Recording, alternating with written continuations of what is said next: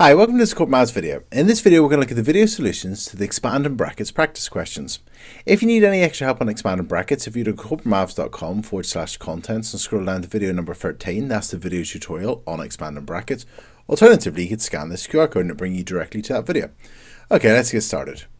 So our first question, question number one. Question number one asks us to expand 4 brackets y plus 2 close brackets. So to expand brackets, we just multiply what's inside the brackets by the term outside the brackets. So we're going to multiply both the y and the positive 2, or plus 2, by 4. So 4 times y would be 4y. And then 4 times 2 would be 8, so plus 8. So the answer would be 4y plus 8. Okay, question number two. So question number two, question number two asks us to expand 2 brackets h minus 4. So we need to multiply what's in the brackets by 2. So 2 times h is 2h, then we've got minus, and then 2 times 4 would be 8, so minus 8. So the answer would be 2h minus 8. Okay, question number 3. Question number 3, we've been asked to expand 5 brackets 2w plus 3. So we need to multiply what's inside the brackets by 5. So 5 times 2w would be 10w because 5 times 2 is 10 and then w, so 10w. Then we've got our plus sign and then 5 times 3 would be plus 15. So the answer would be 10w plus 15. Okay, let's have a look at our next question, question number 4. So question number 4, we've been asked to expand 3 bracket 2y minus 1, close brackets. So that means we need to multiply what's inside the brackets by 3. So 3 times 2y, well 3 times 2 is 6, that'll be 6y minus, and 3 times 1 will be 3. So the answer would be 6y minus 3. Okay, question number 5. So question number 5, we've been asked to expand 5 brackets 2x plus 7, close brackets. So we need to multiply what's inside the brackets by 5. So 5 times 2x, well 5 times 2 is 10, so it'll be 10x plus, and 5 times 7 would be 35. So the answer would be 10x plus 35.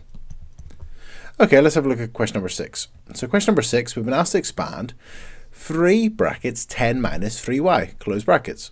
So to expand this bracket, we need to multiply what's inside the brackets by 3.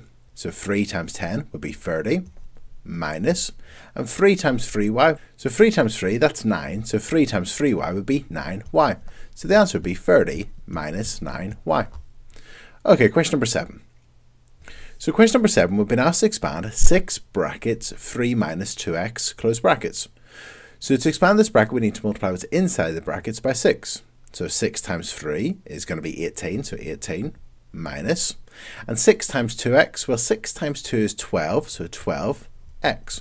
So the answer would be 18 minus 12x. Okay, question number 8.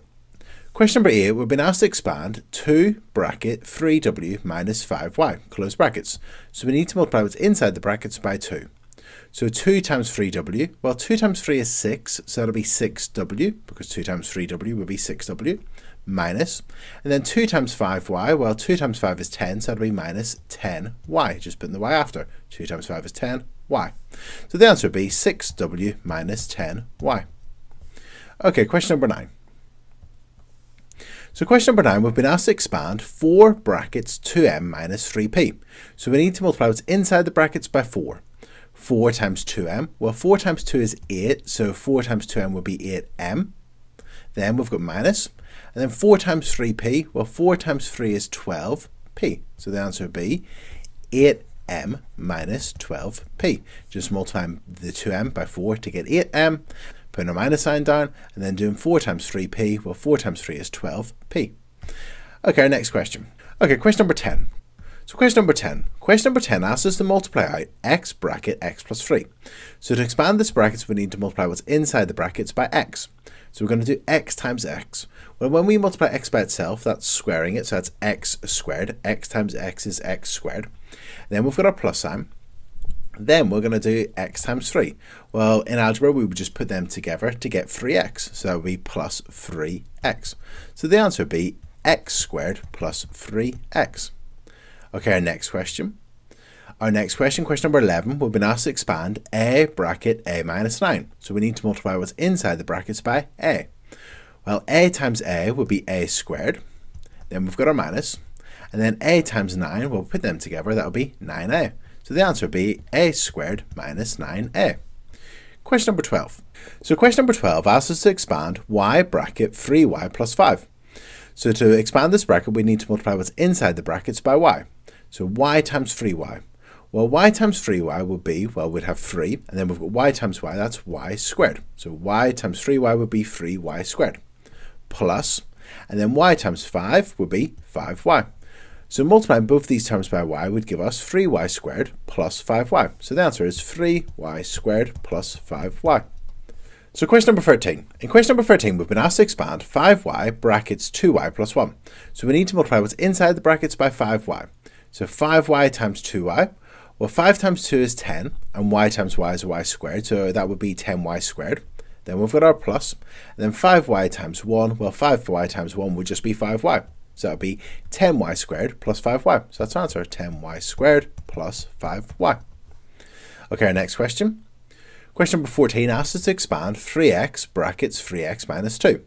So we're going to multiply what's inside the brackets by 3x. So 3x times 3x, well 3 times 3 is 9, and x times x is x squared. So 3x times 3x is 9x squared, minus, and then we've got 3x times 2, well timesing 3x by 2 or doubling 3x would be 6x, or 3 times 2 is 6x, so 6x. So the answer would be 9x squared minus 6x. Okay, question number 15. So question number 15, we've been asked to expand 8x brackets 2x minus 5. So we're going to multiply what's inside the brackets by 8x. So 8x times 2x, well 8 times 2 is 16, and x times x is x squared. Then we've got our minus, and then we're going to do 8x times 5. Well 8 times 5 is 40, so 8x times 5 would be 40x. So answer is 16x squared minus 40x. Okay, question number 16. This time we've been asked to multiply negative 3 brackets y plus 2. So we need to multiply what's inside the brackets by negative 3. So negative 3 times y, well that'll be negative 3y. Then we've got negative 3 times 2. Well, negative 3 times 2 would be negative 6, so minus 6. So answer would be minus 3y minus 6. So this question was a little bit different because we had negative 3 in front of it rather than a 3 or a 5 or a 7. So we just need to multiply both these terms by negative 3. Negative 3 times y would be negative 3y. And negative 3 times 2 would be negative 6 because a negative times a positive is a negative, so minus 6. That's it. Okay, Okay, question number 17. Question number 17, we've been asked to expand 6x, open brackets, y minus 2, close brackets. So we're going to multiply what's inside the brackets by 6x. So 6x times y, well, we just put them together to get 6xy, and we make sure our letters are in alphabetical order, and they are, so 6xy. Then we've got our minus, then we're going to do 6x times 2. Well, 6 times 2 is 12, and then we've got our x. So it's going to be 6xy minus 12x. 6xy minus 12x. Question number 18. Question number 18, we've been asked to expand 9e, open brackets, 2f minus 3, close brackets. So we need to multiply what's inside the brackets by 9e. So we're going to do 9e times 2f. Well, 9 times 2 is 18. And then we've got our letters, E, F, and they're in alphabetical order, so great. Minus, and then we're going to do 9e times 3. Well, 9 times 3 is 27e. So the answer is 18ef minus 27e. Okay, question number 19. Question number 19, we've been asked to expand negative 2 brackets y minus 4 close brackets. So we need to multiply what's inside the brackets by negative 2. So negative 2 times y, well, it's going to be negative 2y, just putting them together. And then we've got negative 2 times a negative 4. Well, negative times a negative is a positive, so plus, and then 2 times 4 is 8. So the answer would be negative 2y or minus 2y plus 8. Okay, our next question, question number 20. Okay, question number 20. We've been asked to expand and simplify 3 brackets x plus 5, close brackets, plus 2 brackets x plus 1, close brackets. So what we're going to do is we're going to expand each pair of brackets first of all, and then we're going to collect our like terms. So we're going to multiply what's inside the first brackets by 3. So we're going to multiply x by 3. So x times 3 is 3x. And then we're going to do plus, and 3 times 5 is 15. So, so we multiply out our first bracket, we get 3 times x is 3x, and 3 times 5 is 15. Next, we then got our plus, and then we're going to multiply what's inside the brackets by 2. So 2 times x is 2x, and then 2 times 1 is 2, so plus 2. So we've expanded each of our brackets. Now we need to collect our like terms. So we've got 3x plus 15 plus 2x plus 2. So we've got our 3x plus 2x. Well, 3x plus 2x is 5x. Then we've got plus 15 plus 2. If we add 15 and add another 2, that'll be the same as adding 17. Or 15 plus 2 is 17, so plus 17. So the answer would be 5x plus 17. So question number 21. Question number 21 says expand and simplify 4 brackets x minus 1 close brackets plus 3 brackets 2x plus 5 close brackets. So again, let's expand each bracket. So 4 times what's inside the first bracket. So 4 times x is 4x. Then we've got our minus, and 4 times 1 is 4. Then we've got plus, then we've got our plus, and then we're going to multiply what's inside this bracket by 3. So 3 times 2x, well 3 times 2 is 6, so 3 times 2x is 6x, and then plus, and 3 times 5 is 15. And now adding our like terms, or collecting our like terms, 4x plus 6x is 10x. And then we've got minus 4, and negative 4, plus 15. Well, if we had negative 4 plus 15, that would be 11, because adding 4 would bring you to 0, adding another 11 would bring you to add 11. So it would be plus 11. So the answer would be 10x plus 11. Okay, question number 22. Question number 22, we've been asked to expand y brackets y squared plus 3. So we're going to multiply what's inside the brackets by y. So we're going to start off by doing y times y squared. Well, y times y squared would be y cubed. And the reason is we've got y squared, which is y times y, that's y squared, and then we're timesing it by another y, so we've got y times y times y, which is y cubed. Then, because we're multiplying both of these terms by y, we've done our y squared times y is y cubed, then we've got our plus, and then we're going to do 3 times y, but that'll be 3y. So answer would be y cubed plus 3y. And just to explain that again, we're multiplying everything inside the brackets by y. So multiplying y squared by y would give you y cubed, and multiplying 3 by y would give you 3y. Okay, let's have a look at question number 23. Okay, question number 23. And we've been asked to expand 2w and then in brackets 3w squared minus 5. So we're going to multiply what's inside the brackets by 2w. So 2w times 3w squared. Well, 2 times 3 is 6. And then we've got w times w squared. Well, it's w times w times w, which is w cubed. And then w, w, w, w cubed. And then we've got minus. And then we're going to do 2w times 5. Well, 2 times 5 is 10. w. So answer would be 6w cubed minus 10 w. Okay, question number 24. So question number 24, we've got to expand y squared and then in brackets 8 minus 2y. So we're going to multiply what's inside the brackets by y squared. 8 times y squared is 8y squared. And then we've got our minus.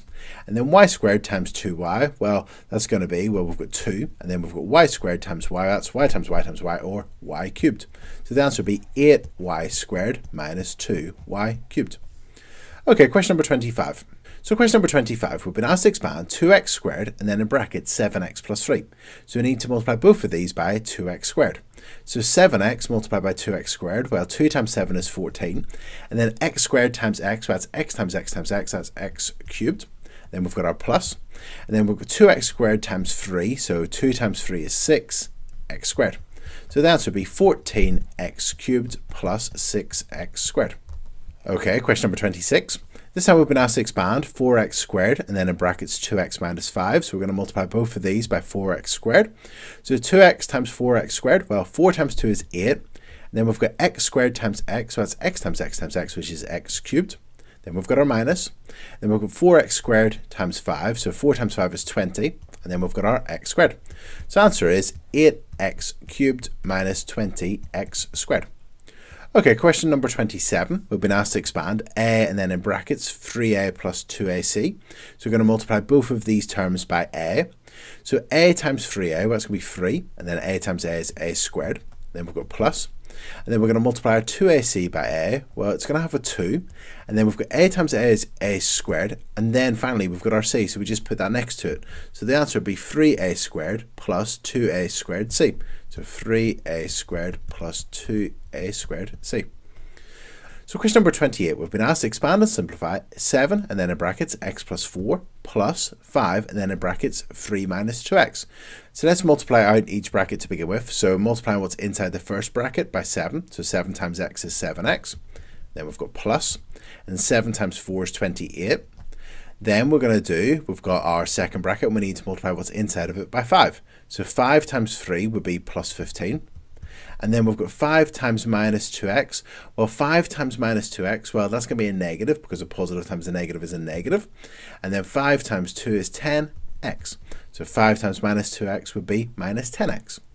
So let's now collect our like terms. We've got 7x minus 10x. Well, that'll be 7x's take away 10x's would be minus 3x's.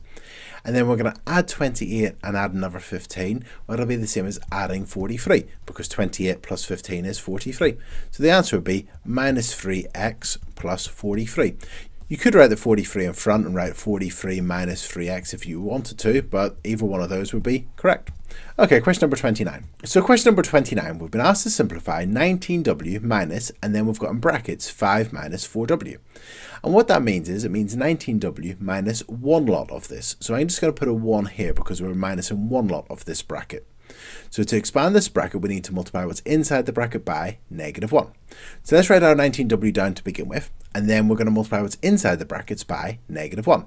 So we're going to do negative 1 times 5. Well, negative 1 times 5 would be negative 5, so that's going to be minus 5. And then we've got negative 1 times negative 4w. Well, negative times negative is a positive, and 1 times 4w would be 4w. So whenever we multiply out the bracket, we get 19w minus 5 plus 4w. So let's collect our like terms. We've got 19w plus 4w. Well, 19w's plus another 4w's would be 23w's. And then we've got our minus 5, so we just write then minus 5. So answer would be 23w minus 5. And that's it. Okay, question number 30. So question number 30, we've been asked to expand and simplify 2, and then in brackets 7y minus 3x minus 8 and then in brackets x minus 4y. So let's multiply what's inside the first bracket by 2 to begin with. So 2 times 7y, well 2 times 7y will be 14y. Then we've got our minus, and 2 times 3x is 6x. So we've expanded our first bracket. Now we've got negative 8. So we need to multiply what's inside this bracket by minus 8. So minus 8 times x, so that'll be minus 8x. And then we've got minus 8 times minus 4y. Well, negative times a negative is a positive, and 8 times 4 is equal to 32. So 8 times 4y would be 32y. So expanding our bracket would give us minus 8x plus 32y. So we've got 14y minus 6x minus 8x plus 32y. So now let's collect our like terms. We've got our 14y's plus 32y's.